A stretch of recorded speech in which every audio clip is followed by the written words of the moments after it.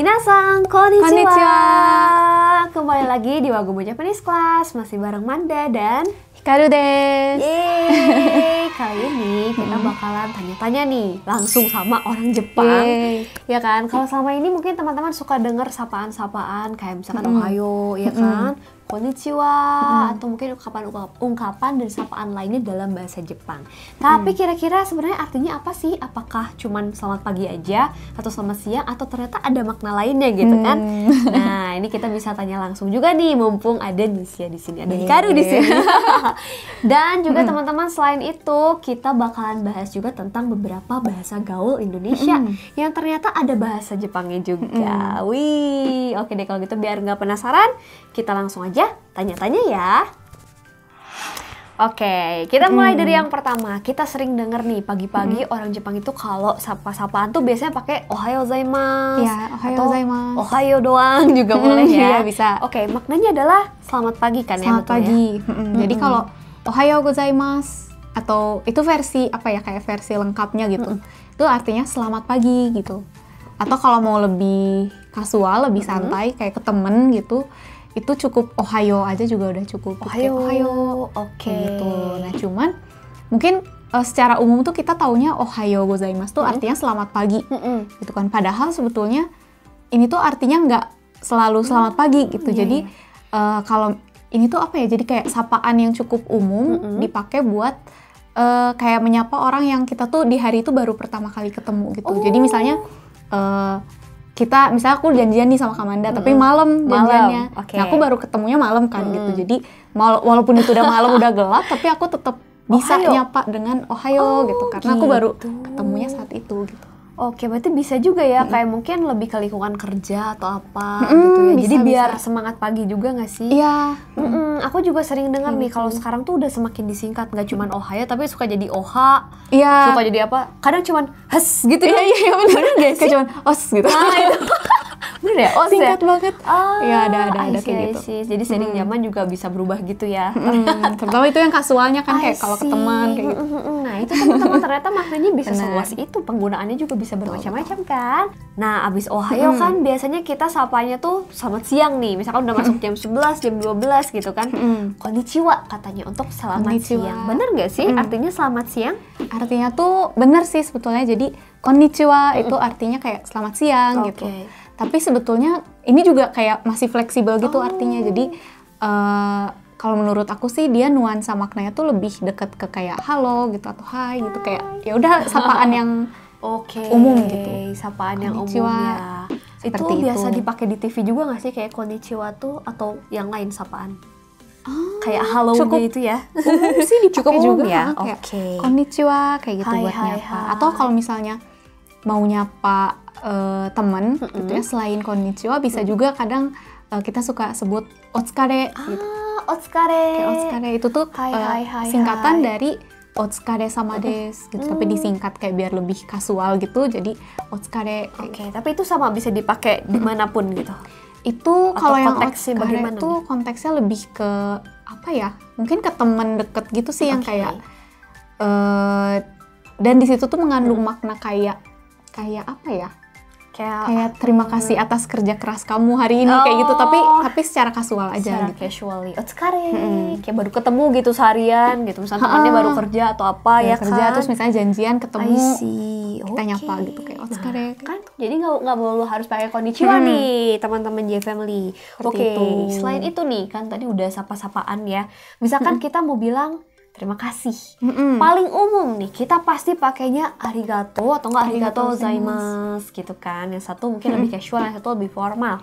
Oke, gimana tuh penggunaannya sendiri? kalau penggunaannya yang satu tadi ya yang versi panjangnya arigato gozaimasu Ya. itu tuh dia versi yang kalau di bahasa Indonesia tuh kayak terima kasih gitu jadi yang kayak baku dan Terima lengkap kasih, gitu ya gitu. terima kasih kayak gitu tapi kalau misalnya kita cuman mau bilang makasih gitu kayak Makasih. yang lebih apa sih santai Casual, gitu santai gitu guys. Lebih casual tuh kita juga bisa bilang arigato gitu Hmm, arigato aja oke. udah udah Udah cukup, sih kayaknya ya. gitu I see. Berarti emang kalau untuk terima kasih kita bisa pakai itu. Tapi ada juga nih kayak misalkan domo, aku sering dengar gitu ah ya. iya iya Boleh iya, iya. juga tuh. Bisa, bisa, bisa Bisa juga aja dipakai ya. kayak domo gitu. Itu juga cukup kasual ya. Cukup casual. Mm-mm. Oke guys, kayak Seperti gitu. itu. Memang yang paling umum kalau sama teman ya arigato lah ya. Ah, arigato. Kayaknya Hai, tuh kalau ke teman deket, tapi kita ngomongnya arigato gozaimasu. itu tuh kayak kaku banget gitu kayak banget gitu ya. Pasti Iya. kaget tuh temennya katanya, "Eh, kamu kayak kenapa?" kaku banget kamu ada apa gitu. Ada apa ini? Apa aku berbuat kesalahan Iya, gitu ya? jadi kayak gitu nanti. I see, I Bisa see. jadi. Pasti ya. Nah, kalau udah kayak gitu, biasanya si temannya tuh bakal ngejawabnya sama-sama gitu. Sama-sama. Nah, itu gimana sih bahasa Jepangnya? Nah, kalau yang sama-sama ini tuh menariknya mungkin kayak kalau teman-teman mungkin pada tahu Doita dijawabnya ya?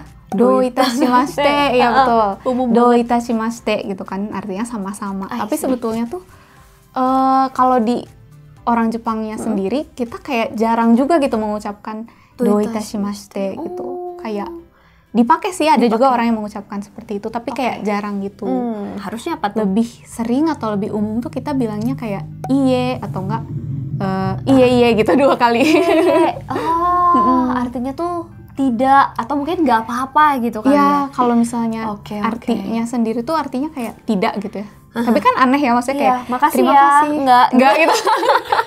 Ada apa gitu. Ada apa ini kalau di Indonesia Kayak gitu gitu kan kan. mikirnya. Cuma iya betul. Jadi kayak artinya lebih ke oh enggak kok, enggak apa-apa kok gitu. Nggak apa-apa kok. Ah, I see. Jadi jawabnya Seperti gitu itu. teman-teman. Jadi kalian bakalan lebih luas deh kalau misalkan Mm-mm. dibilang arigato, jawabnya iya iya iya kayak gitu Iye, bisa iye ya. gitu. Atau iye sekali juga boleh. Iya, diingetin ya teman-teman. itu. Mm-mm. Oke, terus ada lagi nih sapaan-sapaan yang mungkin umum dipakai lagi. Ada sumimasen misalkan. Ah, Tapi itu iya. formal kali ya. Kalau ini sumimasen itu juga ya termasuk formal dan sopan kali ya. Oke, Jadi sopan ya. ini tuh punya dua makna. Dua mak. Paling nggak dia punya dua makna. Yang I satu maknanya bisa berarti eh, maaf gitu ya. Kita minta maaf sumimasen. Sumimasen. Atau bisa juga berarti eh, permisi, gitu. Permisi. Jadi kalau misalnya kita mau lewat depan Oh, orang kayak atau enggak punten gitu. Ya, Kalau dalam kalau bahasa Sunda Sunda. tuh kayak punten I gitu.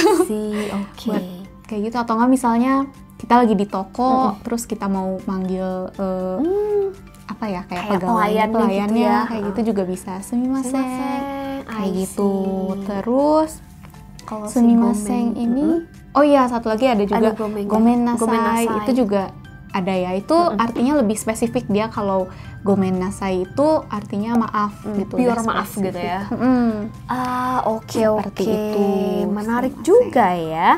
oh terus ada ini aku lupa kalau tuh? sumimasen tuh ada eh, versi kalau sumimasen kan versi yang betulnya gitu Iya, ya sesuai sumimasen. dengan EYD-nya Iya, gitu yang ada di Jepang gitu ya. Terus Oke. ada juga versi yang lebih kayak udah deket-deket ke slangnya gitu. Oh, oke. Biasanya sih anak-anak Buddha yang suka ngomong kayak gini. Jadi Hmm. sumimasen disingkat jadi kayak cuman semang gitu. Ah, Semang. iya, iya, di anime itu sering banget aku dengar kayak cuman semanai. Semana. Kenapa kayak gitu ya?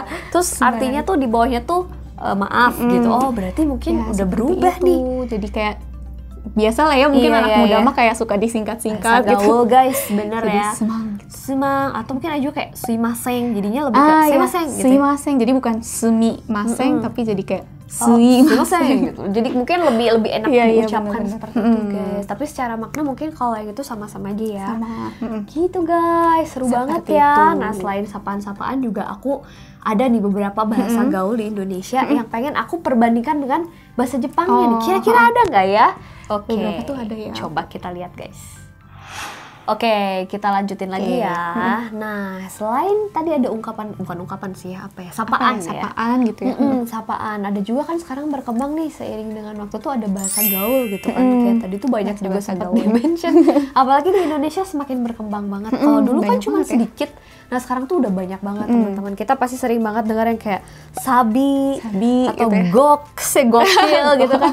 Iya, iya, bener. Ada nggak sih gitu kan bahasa Jepangnya penasaran kan? Coba nih kita tanya langsung sama Hikaru kita nih coba ya. Misal kayak tadi yang aku sebut sabi atau Sabi mungkin dalam bahasa yang lebih dimengerti tuh bisa gitu. bisa gitu Ya ya. kan sabi itu ya? Sabi itu bisa kan? Bener, Bener kan? sabi di Jepang gimana tuh? Bisa nggak sih kayak digaul-gaulin tuh si sabi itu tuh? sabi tuh aku yang kepikiran yang deket tuh kayak Ari gitu. Ari.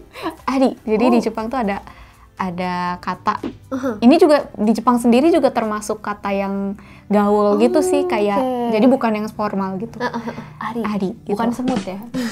bukan ya tapi semut juga ari Iya, oke. Ari gitu ya. Ah, see, I seperti see. itu. Kalau misalnya Jadi- kita contohin di conversation gimana nih kira-kira? Misalnya tuh misalnya Heeh. misalnya eh, misalnya versi Indonesianya tuh kayak Oke, gimana? kalau gimana kalau besok kita makan sushi terus kayak wah sabi tuh gitu Sabi gitu ya sabi tuh ya. kayak gitu itu kalau Oke. misalnya bahasa Jepangnya eh ashita sushi tabe ni iku no wa do Hmm. terus dijawab oh ari gitu Oh. Mecha Ari dane gitu. Ari dane, ada Arinya guys. ari gitu oke, seperti itu jadi ada versi Jepangnya juga Lebih luas sabi. nih ya. Kayaknya kalau misalkan kita pakai bahasa gaul tuh di sana bakal lebih luas ya. lebih ya Ya. lebih apa ya kayak native gitu Native, cuman hati-hati dipakainya jangan sama orang asing ya teman-teman. Jadi mesti sama orang yang udah kenal udah dekat. kenal deket Oke, ya betul next ada juga nih teman-teman. Kalau misalkan kita lagi nggak ada kerjaan, kita tuh sering banget bilang, aduh gabut, gabut atau Gabut gaji gitu. buta. Mm, Kalau di sini iya, tuh betul. singkatannya. Mungkin kalau di Jepang kita pakainya apa nih untuk uh, mengungkapkan kalau kita tuh lagi nggak ada kerjaan? Apa nih kira-kira? Kalau di Jepang yang artinya mirip-mirip kayak gabut itu ada hima. Hima. Hima. Oke, kita sering dengar juga nih teman-teman. Ini kata si Fatma.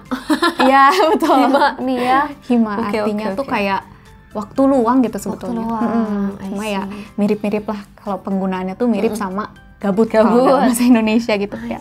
Hima. Hima. Contohnya tuh misalnya gimana? kalau kita kan suka bilang aduh gabut nih ngapain ya gitu. Oh, oh.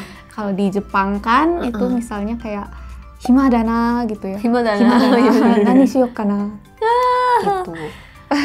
karena iya iya itu. bisa sih guys kayak gitu. Jadi makna yang terdekatnya tuh ya hima gitu. Gabut. Hima itu yang paling dekat sih Lucu banget ya. Terus next ya aku sering dengar juga nih. Ini mah udah ada dari zaman dulu juga sebenarnya kepo. Ya, Padahal nggak tahu sih asalnya dari mana tuh Kepo kata tuh kepo. apa sih? Apakah Kepo kepo, itu aslinya singkatan? Hmm. Dari apa ya? Aku juga gak tahu deh. Uh-uh, Tapi ini sama. juga dari dulu ya suka dipakai. Sering denger kan kepo-kepo itu kayak mengungkapkan kayak keingintahuan kita sama sesuatu gitu teman-teman. Kepo. Ada nggak tuh di Kepo. Jepang kepo? Kalau kepo bahasa Jepangnya tuh shiritagaru. Shiritagaru. shiritagaru. wow. Jadi Tapi kayak terkesan elegan katanya tuh. Iya, Shiritagaru. Best.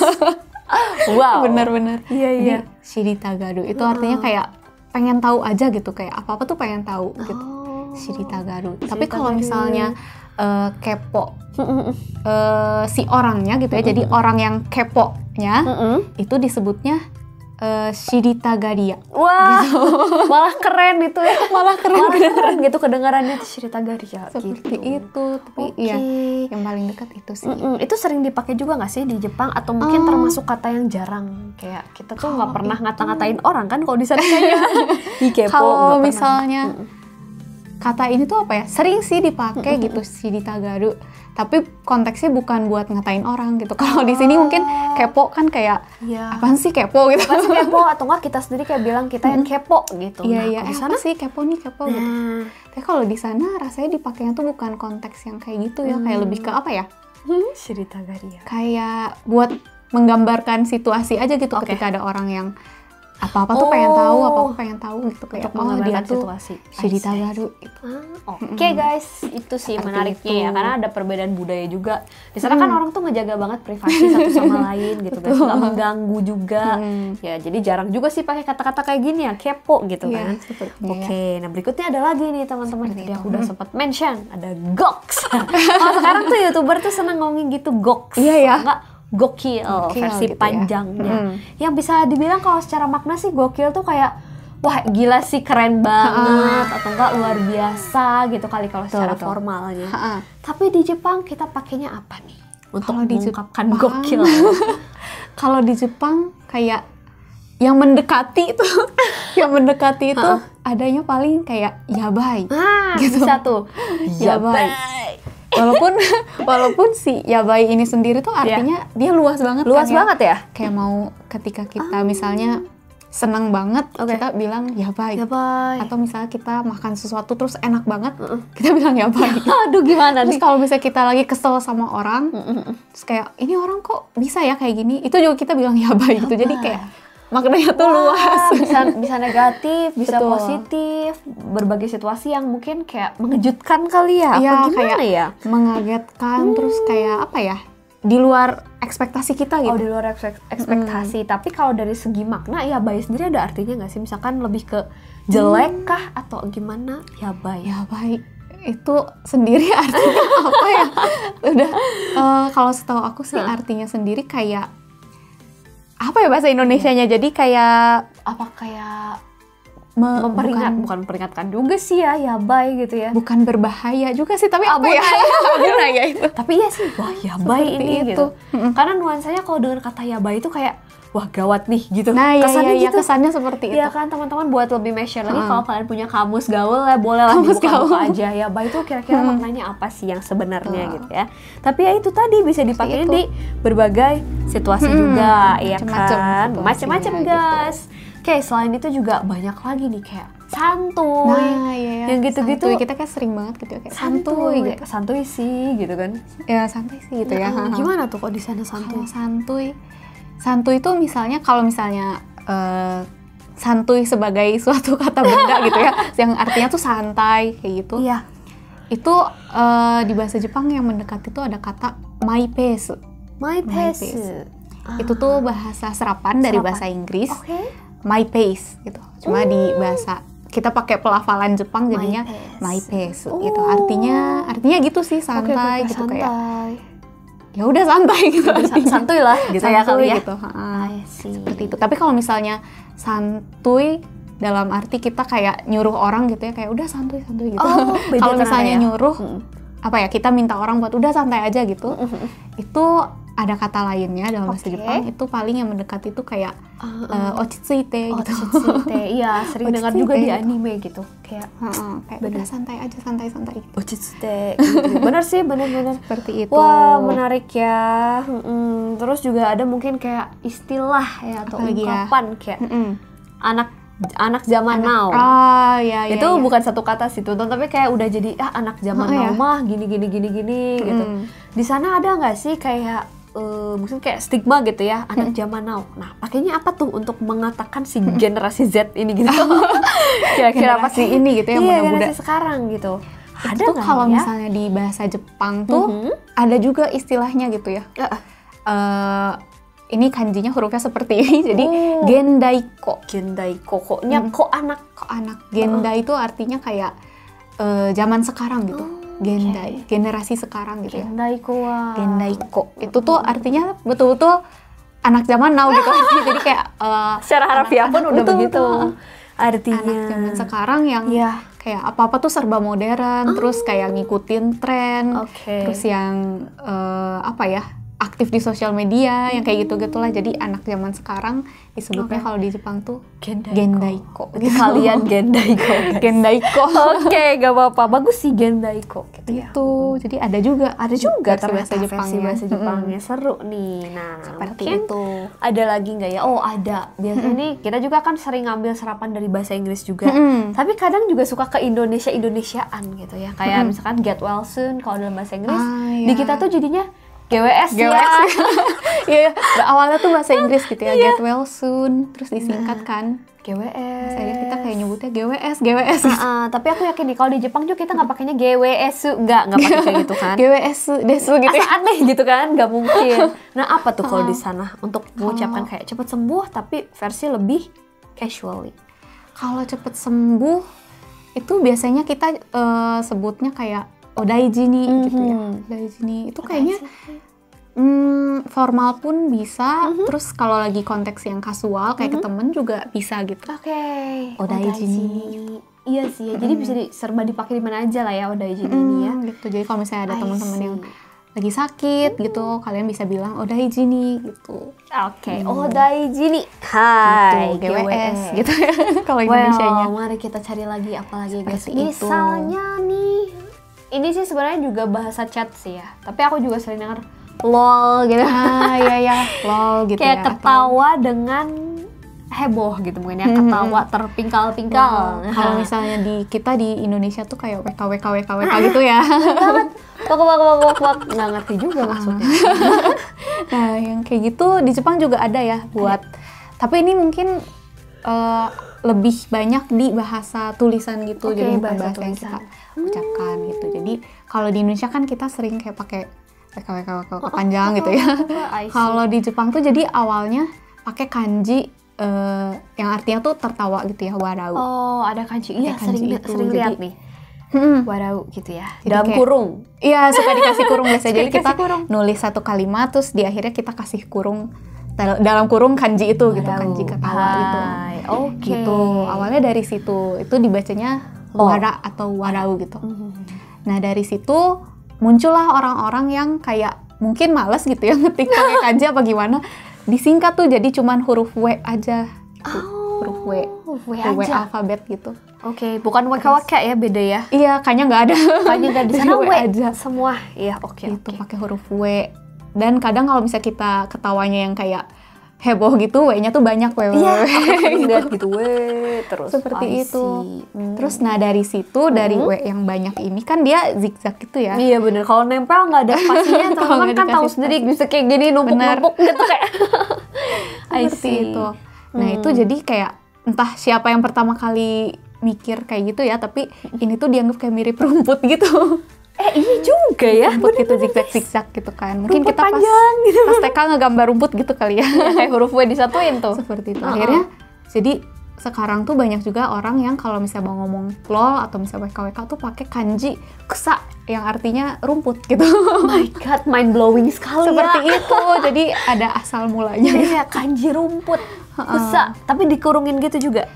Eh, Biasanya atau langsung aja sih biasanya kusa? sih enggak dikurungin sih kalau kusa tapi mungkin ada juga orang yang pakai kurung gitu ya Berarti kalau kita pakai bahasa chat kayak gitu orang Jepang ngerti ya? ngerti jadi misalnya ya. kita ngomong kalimat apa terus belakangnya pakai kanji rumput gitu bla bla bla kusa gitu Oh, berarti orangnya kita ketawa. Ah, pengetahuan banget teman-teman kalau kalian nanti punya teman akrab di Jepang, Ya. kalian udah bisa berkomunikasi kayak gitu ya. Jadi boleh dipakai tuh bahasa yang tadi semua dipakai sama ya kita. itu boleh ya tapi mungkin eh, kebanyakan tuh itu bahasa-bahasa yang kasual, gitu Kasual jadi banget, kalau ya. misalnya ke eh, lingkungan kerja atau misalnya bahaya lebih tua itu kalau bisa jangan Damai guys, jangan ya. Gitu. Oke, wih semakin lengkap ya Seperti pengetahuan itu. kita. Padahal ini sebenarnya dasar ya. Bisa dibilang kayak ungkapan-ungkapannya pun tadi kayak Ohio itu Ya. semua tuh pelajaran kayak di bab satu teman-teman. Mm-mm. Ya, terus bahasa-bahasa gaul juga kayak bahasa-bahasa sehari-hari juga sih sebenarnya. Iya. Tapi kalian jadi lebih tahu kan pastinya. Oke deh, kalau misalkan kalian suka dengan konten ini, kalian pengen kita bahas lagi bahasa gaul lainnya mungkin ada yang mau kalian tanyakan, boleh juga langsung di Boleh. komen teman-teman. Nanti kita bakal bikin mungkin eh, yang kayak gini lagi ya. Bisa kalau Bisa misalnya ya? kalian ada banyak pertanyaan ntar kita jadiin video lagi Kita jadikan video lagi teman-teman. Oke, jangan lupa juga teman-teman buat like video ini biar kita makin semangat. Oke deh, kalau gitu mungkin segini aja buat video sharing hari ini. Mana dan Hikaru pamit. Kita akan ketemu lagi di video lesson berikutnya teman-teman. Mata nih. mata nih